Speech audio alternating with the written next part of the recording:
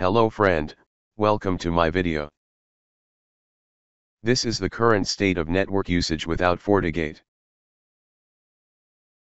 In this video you will learn how to connect and configure a new FortiGate so that computers can connect to the internet. And here's how to connect when there is FortiGate. The FortiGate is installed as a gateway or router between two networks. In most cases, it is used between a private network and the Internet. Connect the FortiGate's interface port 1 to your ISP supplied equipment and connect a PC to the FortiGate using an internal port, port 2. Power on the FortiGate unit, and the PC on the internal network. Login using an admin account.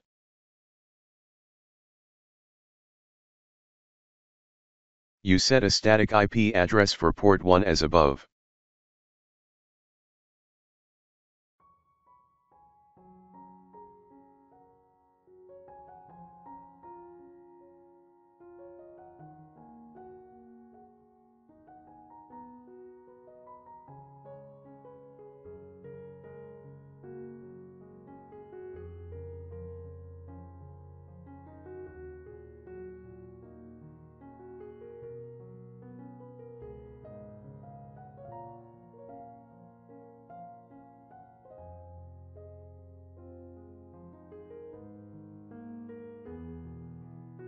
Login to the FortiGates web-based manager. Log in using an admin account. Go to Network, Interfaces, and edit the Internet-facing interface. Configure the WAN interface.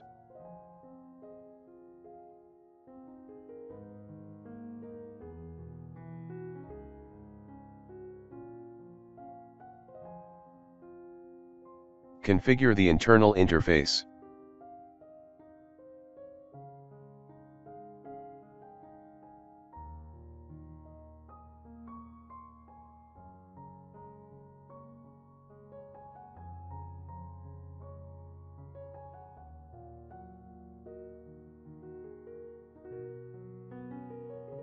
In this case DHCP is enabled.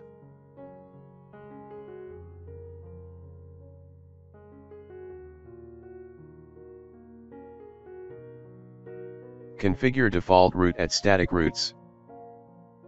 Set the destination IP or mask to 0.0.0.0 and 0.0.0.0, the device to the internet-facing interface. And gateway is the IP address of the ISP's router. Creating a policy to allow traffic from the internal network to the internet. Go to Policy and Objects Firewall Policy and create a new policy. Give the policy a name that indicates that the policy will be for traffic to the Internet. Set the incoming interface to the LAN interface and the outgoing interface to the Internet-facing interface. Set source, destination address, schedule, and services is all. Make sure the action is set to accept. Turn on NAT and make sure use outgoing interface address is selected. You can now browse the internet using any computer that connects to the FortiGate's internal interface.